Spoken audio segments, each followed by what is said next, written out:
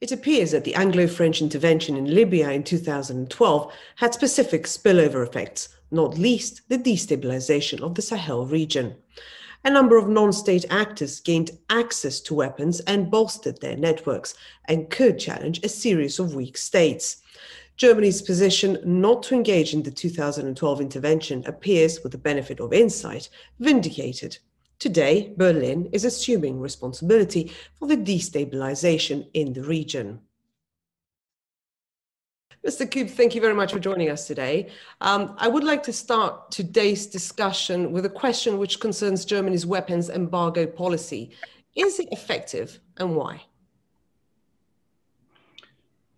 Well, it, it depends on what you define on uh, efficiency. If you see uh, concerning uh, Libya, you can see uh, the flight movings coming into Libya, and you can see that it doesn't work uh, perfectly as we uh, used to think that it, it could work. On the other hand, if you ask, is it does it make its point to to reduce weapons in the region? Probably yes but of course, we are not uh, satisfied with the, the amount of success uh, of this embargo. And uh, I think that uh, all attempts have to be made to increase uh, the, uh, its power and to, to work at it. Mm-hmm. Do you believe that um, the change of the CDU leadership would means that there is a change in Germany's foreign policy? I don't think so, to be honest. I mean, it's uh, the foreign policy is one of the few areas where you don't have um, that large uh, differences even between the different parties. Uh, either it's CDU, CSU, or SPD, or Liberals, or even Green Party. There's a quite large uh, amount of uh, agreement concerning foreign affairs policy so I don't uh, expect that uh, the change of uh, to, to Armin Laschet in our party will change uh, anything. And although we don't know who will become our candidate for chancellery in, in autumn, I don't expect whoever that will be that there will be a dramatically change in, in foreign affairs policy because uh, there's a very great amount of uh, common uh, arguments and common views in, in our party concerning this point. So I don't expect uh, that there will be a dramatic change, but of course I cannot uh, um, say it will not definitely not happen. But I think that uh, you don't have to be in sorrow. Uh, I think the, the red line will be visible uh, after September um, again. Yeah, most certainly interesting times are up ahead. Professor Barah, as the main author of the tactics uh, report on Libya, do you agree with the assessment that France and Britain got it wrong in? And was Libya the only catalyst for the destabilization of the Sahel region?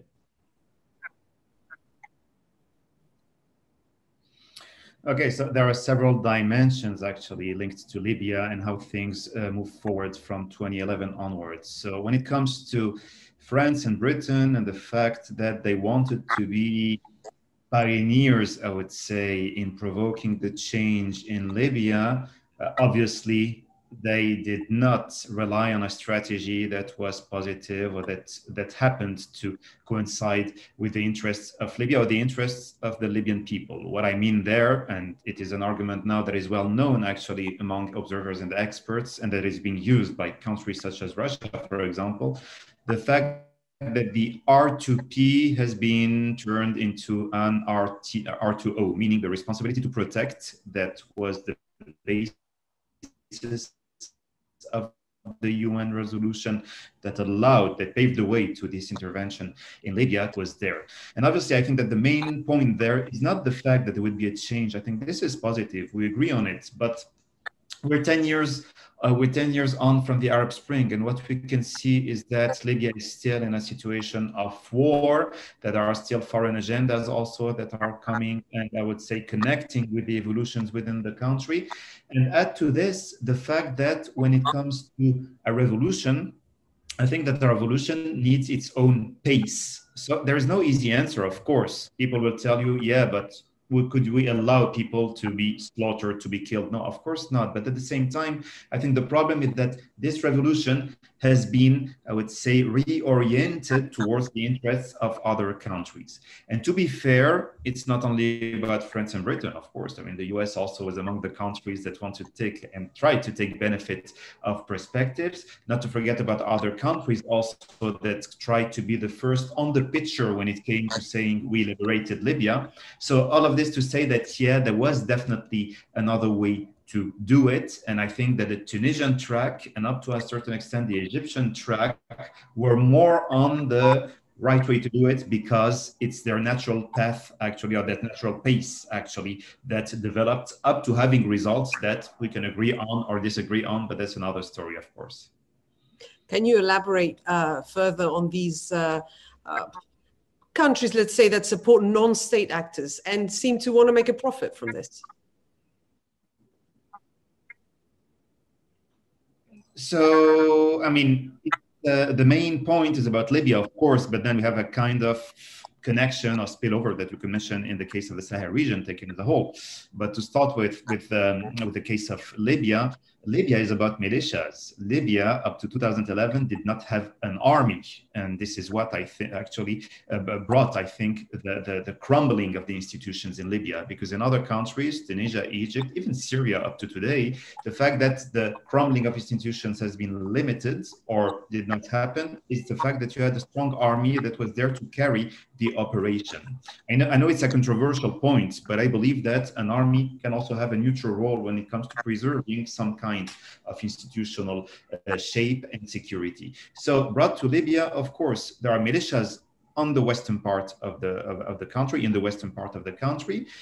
There are also militias in the eastern part of the country, though they deal with the Libyan National Army that is not an, that is not an official army, but that is a stronger body compared to what we have in the west. And then in the southern part of Libya, in the Fezzan, you have a myriad of several organizations or several, sorry, uh, movements that are uh, engaged in traffic, in smuggling, that are definitely, I would say, reflecting the total absence of institution and the security vacuum that comes along with it. So from this, of course, to the fact that there are some external actors that try to take opportunity of this, that try to deal with militias directly in order for them to have an advantage.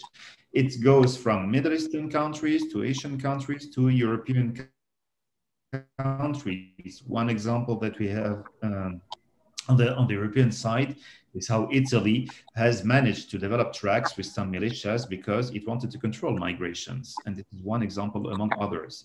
So Libya has a lot of these examples where states deal with militias because it, it does not know how to deal with a strong institution that would be there. That's on the one hand. On the other hand, not I don't want to, to, to, to be monopolizing uh, the, the word or monopolizing the dialogue here, but just to add on the Sahel and its evolutions. Well, in the Sahel, we know also that there is working fragmentation that is ongoing there. Uh-huh. That is not new, but at the same time, it is true that countries that would be willing to take opportunity of the evolutions in the Sahel could be tempted to engage in relations or engage actually with some form of cooperation or with deals uh, with these uh, with these organizations or movements that happen to be strong on the ground. It is too early to look into details related to that. I mean, more than anything else, because we know that lots of these movements are categorized as terrorist radical movements that even the UN bans talking to, though I think that we should consider at one point to what extent we're talking to the Taliban. So why not talk to some of these organizations? One has to be pragmatic. Uh, but the problem is that this void that we are having there is definitely a void that could be either taken opportunity of by states that come from the outside, or could be taken opportunity of also by other groups that are building up on the vacuum that we have in these countries. I'm thinking of Chad, I'm thinking of Burkina Faso, I'm thinking of Niger. All of these are problematic uh, situations. So this is where I'm not sure that in 10 years time, since 2011, 2012 for the Sahel, we've moved positively. I think that on the contrary, uh, it's even that we're focused on a security strategy, trying to kill the ones and the others among the leaders, but I mean, look at what is happening in other regions, in other countries of the region, such as what NATO is saying about Afghanistan and Iraq. Actually, the same is happening in the Sahel. If you also, if you have insecurity for sure, but the problem is that if you only focus on the military security approach, I'm not sure that you're working on the roots of the problem at the same time. Thank you for that, Mr. Koob it seems like there is an exit strategy which comprises of strengthening local states to deal with transnational terrorism. To what extent do you feel that this is working? Yeah, I, I believe it, it can work, but you have to have to look at a very long time uh, if you have this as at your aim. Because um, if we look at Mali, for example, um, the German Bundeswehr is uh, present in two missions. Uh, there, uh, one European one and uh, one of the United Nations. And I think that it's a very vital, um, vital thing that the Bundeswehr is uh, present at this place. But if you talk to um, the soldier, our soldiers uh, in Mali, they all tell you, well, you have to be patient. this approach doesn't work within two or three years, but it has to you have to be patient and have to look that it will last maybe uh, five to 10 years. And um, I'm, I'm not really sure if I look at the current situation, especially in, in Mali and uh, the surrounding countries, if we have this time uh, to, to wait five to 10 years. So there is a discussion in, in my party as well. Is, is it enough what we are doing right now to to educate and to train uh, the regional troops. Um, I'm we haven't found an answer on that now, and the missions uh, changed uh, in the last year. And I'm, uh, of course, we should wait and see what is the result of these changes. Uh, but I think it's uh, it's an approach. It's a race against the time, and we have many aspects and many uh, surroundings that are not very in favor for us. The climate change, the, the pandemic situation now, um, and I'm not sure if uh, training and educating uh, the regional troops, which might last five or 10 years, uh, is if, if, we have this time. I'm, I'm not sure, but I don't have uh, another answer right now uh, to this approach. That uh, brings me on to my final question, actually. Um, that, well, on a European level, how do you both actually think we can coordinate better to stop a proxy war in the Sahel region? Um, Professor Barah. Well, I mean, we know, we see well that the UN is kind of focused. It has to be focused on missions that would be validated by the Security Council. And I would say that its efforts are there in the Sahel, but at the same time, they're very limited. So this in change opened up or paved the way to having a stronger, if you could say, involvement from the from France in the Sahel region. We have the G5 Sahel, Barkhane operation, and all these all these operations that are ongoing actually and that are meant officially to bring together the efforts of the Sahel countries for in order for them to fight better against radicalization and terrorism and by extension to make it comes to what is announced. Now the reality of things that mission is not working so well. Uh, means are limited when it comes to both troops or when it comes to troops that are ready to intervene or when it comes to funds of course and this comes in a context where I think that one of the um, of the limited aspects related to the French foreign policy that France, uh, I mean, pretended to do things its own way. You know, to jump in there and to say we're gonna we're gonna show you, we know how it works, but just join us and bring us more money and bring more means, and you're gonna see what you're gonna see. I'm sorry, since 2014 we're in this logic actually, and we can see the result on the ground uh, we can see that the security situation is definitely not evolving.